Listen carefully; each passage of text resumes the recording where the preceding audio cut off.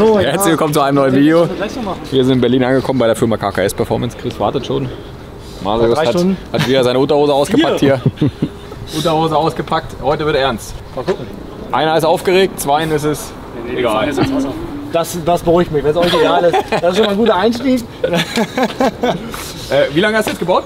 Zweieinhalb Jahre, ne? Zweieinhalb Jahre, ne? Also unterschiedlich intensiv. Dazwischen noch irgendwie ein bisschen Mietshaus gestrichen und Garten gebaut und so. Aber also wie ich bleibe dabei, man hätte das auch in einem Jahr geschafft oder in einem Winter geschafft. Aber So, ich halt wenn- nicht. Ich habe noch zwei man- Kinder dabei bekommen und so weiter. Also ich man- habe sie nicht bekommen, aber Wenn man jetzt so vor dem Ergebnis steht, passt das schon.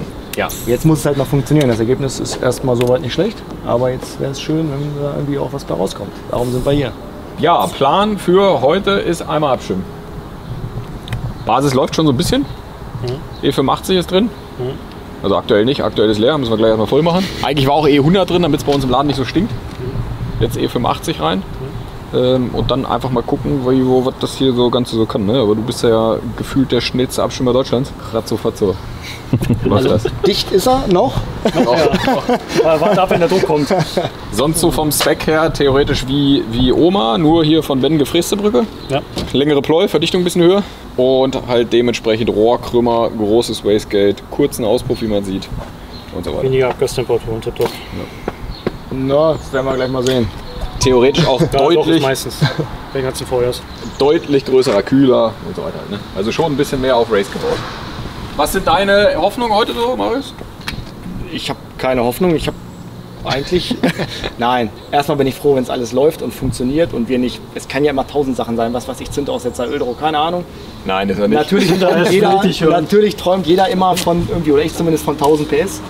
Aber äh, wenn er die nicht hat, hat er die nicht. Ne? Viele sagen ja, Alter, wenn die Oma schon 1100 hat, dann muss der ja hier 1500 haben. Ne? ja, so ich einfach. dachte, du sagst jetzt, zwei muss vorne so stehen einfach heute. ist das Spiel nicht, wenn man sich damit dichter beschäftigt. Also die Oma, auch wenn sie nicht so aussieht, aber ist ja auch im Detail schon relativ extrem gebaut. Deswegen, wenn wir hier aufs Gleiche rauskommen, bin ich schon, gehe ich schon nackt nach Hause. Wenn hier eine 1000, Habt ihr gehört, ne? wenn hier, also wir brauchen wenn 1000 hier, so weit sind wenn das wird nicht eine- passieren. Wenn hier, eine 1000, wenn hier eine 1000 steht, ist mein Ziel erreicht, weil ich behaupte mal 1000 PS mit 850 Kilo, das, da werde ich mich dran gewöhnen müssen.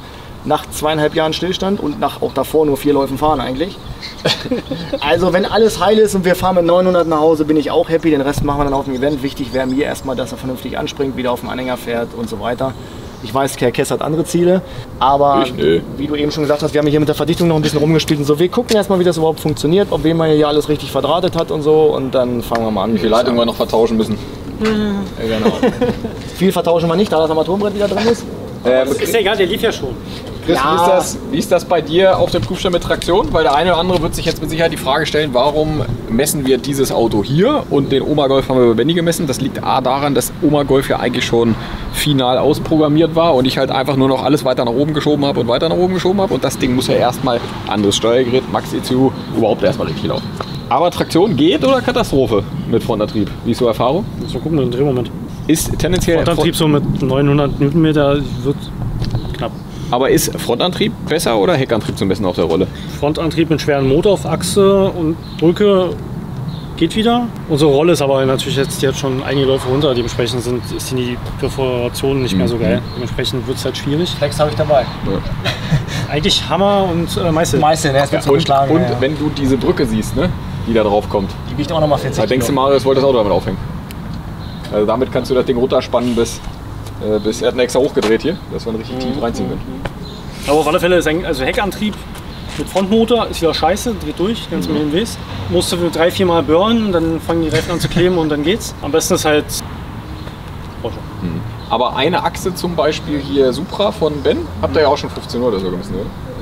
Knapp 1700, ja. Da war aber also, ja- haben wir ja Luft. Mit 10 Spanngurten. Haben wir Luft. knapp 1700 mit ich glaub, 1000 Umdrehungen Schlupf. Also Ja, da, wie da gesagt. war noch ein bisschen mehr. Wichtig ist, dass er erstmal richtig schön Genau, und schön ist, wenn man mitkurbelt, will er wieder mitnehmen und so. Wir gucken mal, Mit was festem dabei- Schwungrad. Ja. was dabei rauskommt. Okay. let's go. Tanken, rein. Es wird zum Glück ein bisschen kälter. Wir haben uns natürlich für den wärmsten Tag ausgesucht. Chris meinte schon, ob er wirklich vorbeikommen wollte, aber das Problem ist, wir haben noch genau eine Woche zum Event. Das heißt, es muss jetzt, damit wir dann noch eine Woche haben, zum Vorbereiten. Attacke!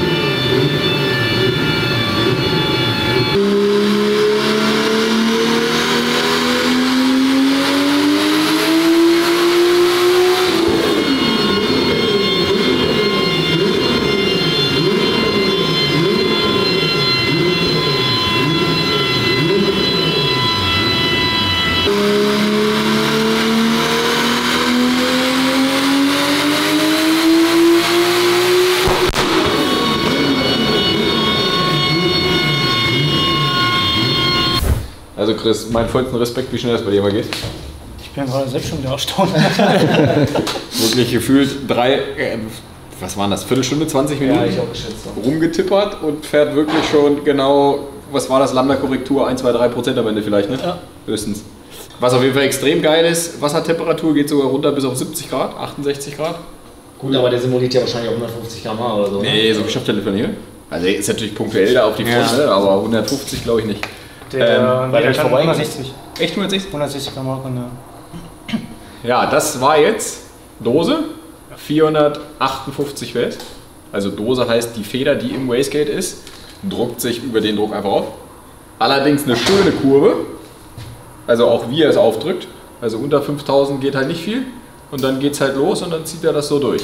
Jetzt kommt es aber, ähm, was schätzt du, was das an Druck waren? Wahrscheinlich schon zu viel, ne? Also eben 50-50, entweder war es wenig oder viel. Aber Es, ich es klang, nach, klang nach zwei Bar. Nee, nee, das gar nicht. Ich fand eher, es klang, es klang wie 250 PS. Ich fand es gar nicht so Hass. Aber, äh, ja, weiß ich nicht, dann war 07 oder was? Ja, genau. 07. 075 oder so, ne? Krass, Also gar nichts. Schön. Also 075. Was ja aber nicht heißt, dass wir mit doppeltem Druck doppelte Leistung haben. So Ja, aber zum Spiel ja äh, nicht, oder? mit 07 einfach mal schon mal 458 PS ist natürlich schon, wenn man sich überlegt, was andere da so machen für 400. Ja, okay, für 07 ist das schon, ich hatte jetzt schon Angst, dass es eher, weil es, ich fand die Läufe klangen auch unterschiedlich. Der erste klang etwas anders als der zweite. Na, bei der einen habe ich weniger Zündung gemacht. Also, Mich hat eben etwas beunruhigt, dass da Zeug rauskommt. Ja. Zeug Ja, ja, rauskommt. du, siehst, du siehst richtig, wie so, irgendwie so, so Flakes durch die Gegend ich fliegen. weiß noch nicht, wo das herkommen soll. Wir haben die ganze Zeit mit der Kamera, mit der Kamera aufs Alurohr geschaut. Ist krass, wie groß der Temperaturunterschied innen und außen ist. Ähm, innen hat man schon so 300 Grad, aber außen hatten wir immer so 150, 200 Grad. Das. Wird diese Keramikbeschichtung leider wirklich auch viel gebracht haben, Ja, die wir damals haben machen lassen. Vielleicht sollte ich die jetzt auch nochmal innen. In. Klar, geht die Temperatur natürlich besser. Aber wir wissen leider nicht mehr, wer es war. Falls derjenige zuschaut, melde ich gerne. Nee, sonst macht er aber tatsächlich genau das, was er soll, ne? auf den Punkt. Ja. Schön. Das sah schon gut aus. Gehen wir hier direkt mit Ratten sein. Also ich glaube, jetzt mal ohne das schlecht zu reden, 490 PS bei 0,7 Bar ist schon verdammt Schon viel. ordentlich, ja. Heißt ja aber nicht, dass noch 500 PS kommen. Boah, warte mal. Du hörst ja, dass der gerade erst. Gerade für erst mich klingt das immer so, als, äh, für dich kommt er gerade erst, für mich geht er gerade schon, weißt ist. Ansprechtechnisch würde ich jetzt nicht sagen, dass man die, die Mehrverdichtung sofort merkt. Also siehst du ja, du brauchst immer noch genauso tot der 5,5. Hund, ja, ja. Allerdings darf man nicht vergessen, XXL Abgasgehäuse drauf und jetzt kommt auch noch dazu äh, Dosendruck. Also er druckt sofort die Dose schon auf unten raus. Aber das wird gut. Also als Beispiel. Ich weiß nicht, was machst du jetzt als nächstes? Wahrscheinlich einfach mal eine, eine, eine, eine Taktung fertig für ein Bar oder so, ne? Nee, wir machen jetzt erstmal Zündung und gucken, wann die Leistung fällt. Das heißt, du nimmst jetzt das als Basis und legst so lange Leistung drauf, bis es wieder weniger wird. Und dann kann man wirklich davon ausgehen, dass das für den Motor Idealzündung ist. Genau. Und dann hast du ja deine, deinen Ladedruck und je nachdem für alle 02 ziehst du es weiter. Und dass er gerade klopft schon, ist ausgeschlossen. Die fahren ja ideale Zündung raus.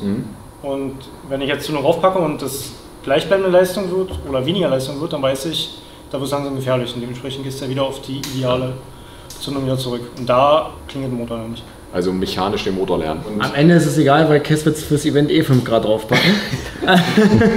Außen, Außentemperaturkorrektur. genau, wenn es draußen kälter ist, machen wir 3 Grad drauf. ähm, und das ist jetzt logischerweise auch alles ohne Wassermeter neu erstmal noch. Ne? Die haben wir ja angeschaltet. Über diesen extra. Äh, Ja, ja, aber wir machen die ja eh immer erst so bei anderthalb Bar oder so an. Auf Das Kanal 5 liegt die, glaube ich. weil ich habe es gerochen, dass die noch nicht an ist. Ja, die geht erst ab 1,8 Bar. Ja, das passt ja. Was haben wir da? 4,84. Guck mal, aber ich sage 4,84. Jetzt kommt, das müsste man, da müsste man separat. willst jetzt zum Glück. ja, wie, wie du diese Hochrechnungen machst. Das ist Ja, wirklich. wir brauchen- brauchen jetzt als wenn die. CDU wieder eine Wahl Nee, nee, hat. pass auf. wie- Also ich sage, bei 1 Bar wird er schon 570 haben. Gucken wir mal. Und 570 mit 1 Bar ist schon zornig, ne? Ist schon, ist schon gut. Geteilt durch. Äh, Zwei im Sinn. das, das wäre dann 3 Bar schon. Ja. Aber ich habe in Chris Gesicht schon gesehen, dass so ab zwei Bar, glaube ich, wird er sich so ein Blech vor das Gesicht halten. so ein Ritterschild. Dann geht die Leitglas nochmal raus und kommt nochmal ein Edelstahlblech rein, ne? damit da nichts mehr rauskommt. Aber der, der Moment hier drin, kann ich dir jetzt schon sagen, wenn da Flamme rauskommt, ist schon geil. Weil es ist komisch, ungewohnt. Nee, also es ist wirklich so, so weil es wirklich so, du glotzt halt wirklich genau rein. Also es ist auch näher, als man denkt. Schön. Super. Ja, also Boost drauf. Äh, nee, also wie Chris sagte, jetzt einmal nochmal sauber abfahren. Abfahren heißt einfach immer mehr Zündung draufpacken, bis die Leistung nicht mehr wird. Dann weiß man, das war zu viel. Also das ist ähm, Grenze für den Motor, was Sinn macht, weil man will natürlich maximal viel Zündung mit Effizienz fahren. Dann fangen wir an zu takten und Leistung oben. Let's go!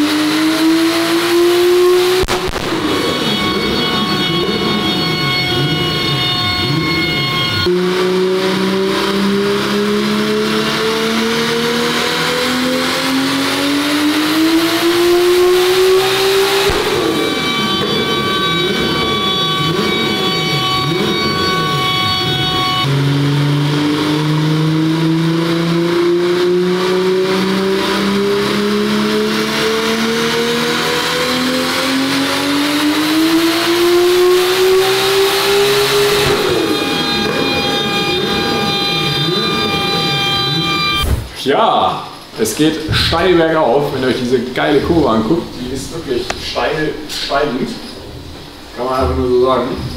Und äh, 576 PS bei einmal. Wie war das jetzt mit Zündung? Also konntest du noch was drauflegen und es wurde mehr oder wie war's?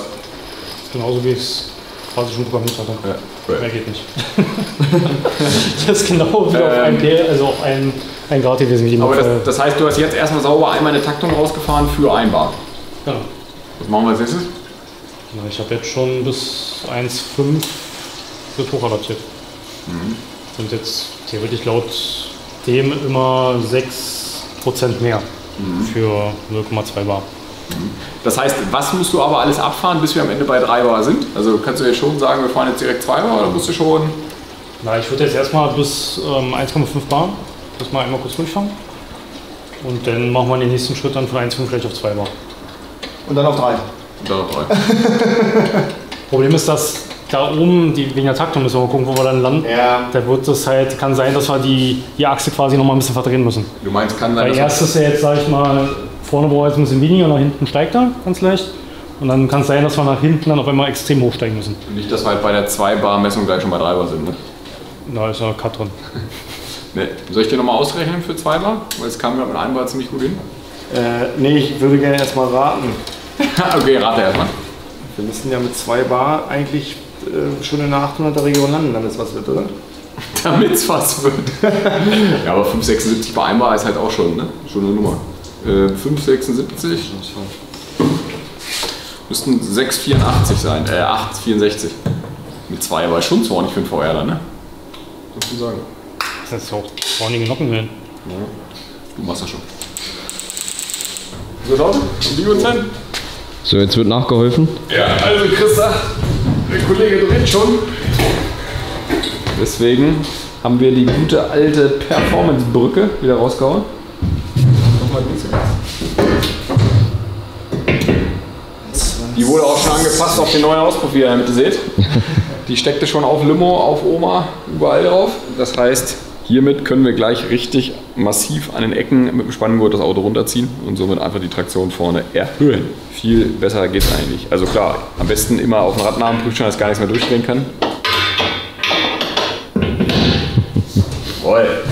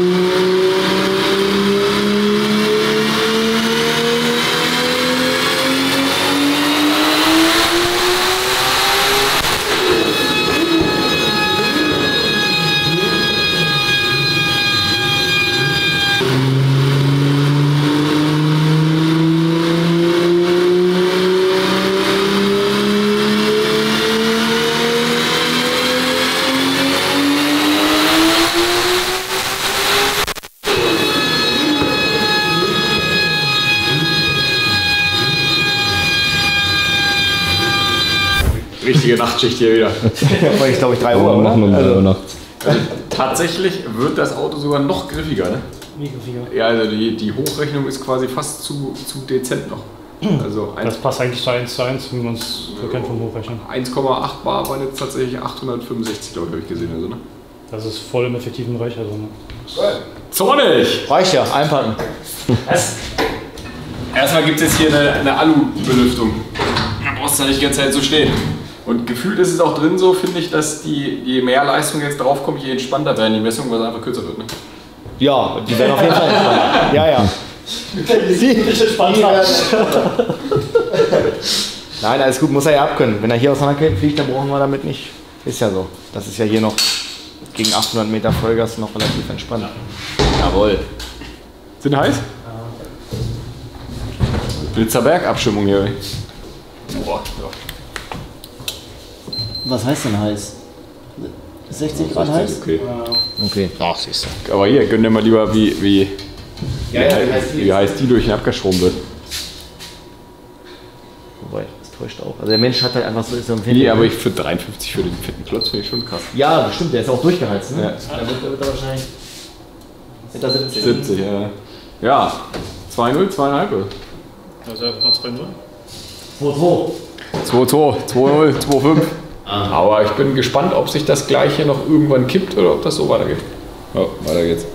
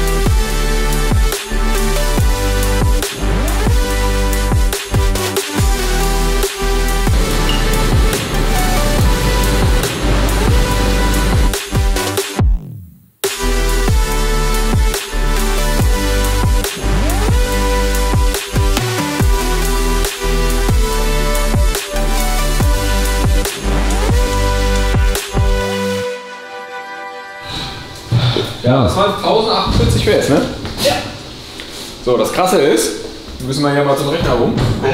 Also, ich bin der Meinung, leider, der dreht durch.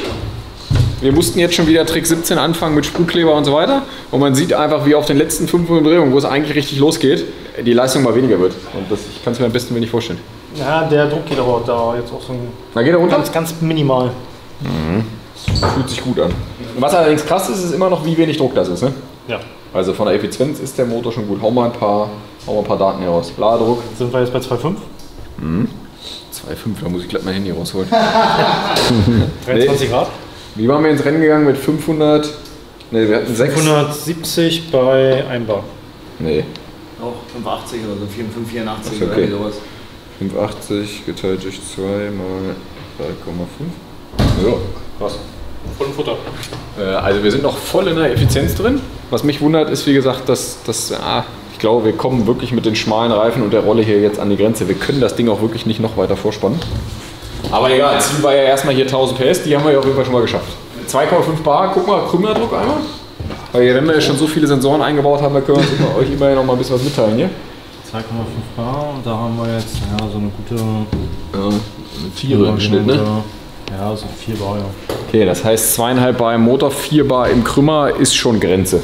Da sieht man jetzt aber wirklich mal, was Nockenwellen plus Verdichtung ausmachen, dass er die Leistung dann schon mit relativ wenig Saft schafft. Ne?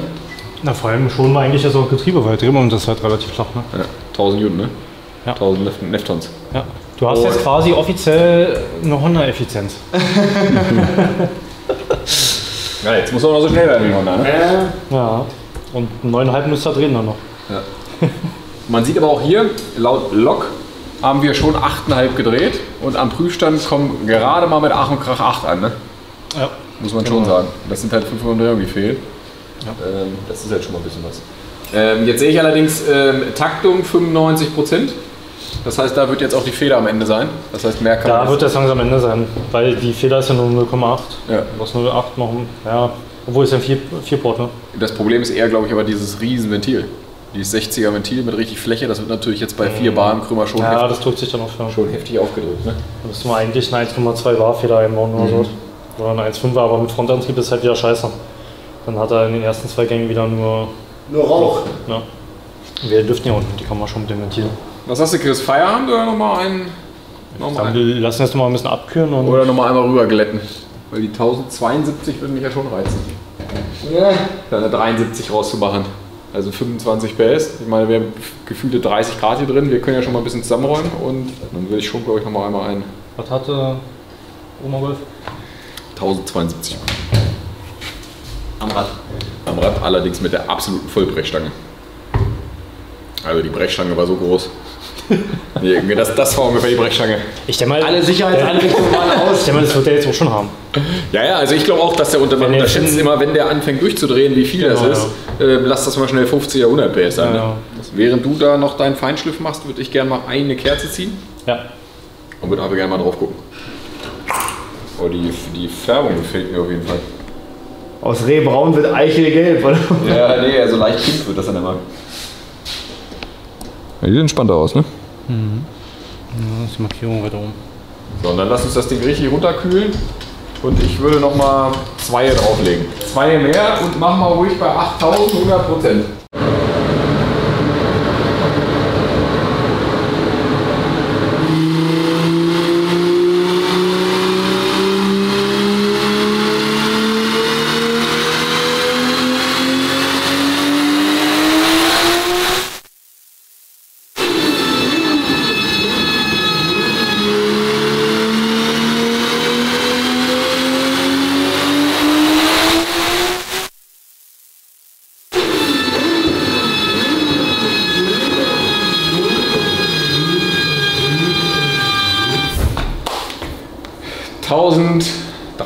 ...1063 PS. Ja. Hier ist jetzt erstmal Feierabend für heute. Wir sind der Meinung, dass es definitiv leider durchdreht. Also egal, was wir gemacht haben. Also es wurde besser mit Sprühkleber und so weiter. Aber unterm Strich alles ab 1000 PS mit Frontantrieb muss einfach am Ende wahrscheinlich doch wieder auf Rad anrutschen. Am Ende ist es ja auch nicht ganz so wichtig, ob da jetzt noch 50 PS fehlen oder nicht. Ja, das stimmt schon. Ja. ging jetzt, man darf nicht vergessen, 1063 PS bei nur zweieinhalb Bar. Oma Golf brauchte da fast ein Bar mehr für. Und aller, allerwichtigste, Technik läuft, funktioniert. Alles, was wir uns überlegt haben, funktioniert auch, egal ob es Nockenwellen ist, äh, Wasserkreislauf. Ja, mega gut. Äh, noch, nicht mal, noch nicht mal neue Kerzen reingemacht. Immer noch die alten Kerzen vom letzten Motor drin. Links Kopf nachgezogen, gar nichts, einfach hergefahren. Leistung gedrückt, abgeliefert. Software passt jetzt auch soweit, vermute ich mal. Das steht jetzt aus, ja. Das ist jetzt Event, losgeht, ready to rumble. Kleine Sachen müssen wir uns halt noch mal ein bisschen Safe-Funktion reinmachen. Schaltunterbrechung muss noch rein. Cool. Ja, wir sind so richtig platt, waren wir wieder in der Nacht. Vielen. Trotzdem vielen Dank, Chris. Geiles Ergebnis. Also ich finde es Bombe. Klar, mehr geht immer, weniger geht auch immer, muss man auch immer dazu sagen. Ja, doch, doch. So, ne? V6. So, ist ein VR6 mit wenig Ladedruck, da viel Leistung rauszukriegen, zeigt auf jeden Fall schon mal, dass es der richtige Weg ist. Und äh, mal gucken, wo die Reise geht, würde ich sagen. Ne? So, tschö. Danke fürs Zuschauen, gute Nacht und bis zum nächsten Mal. Dankeschön.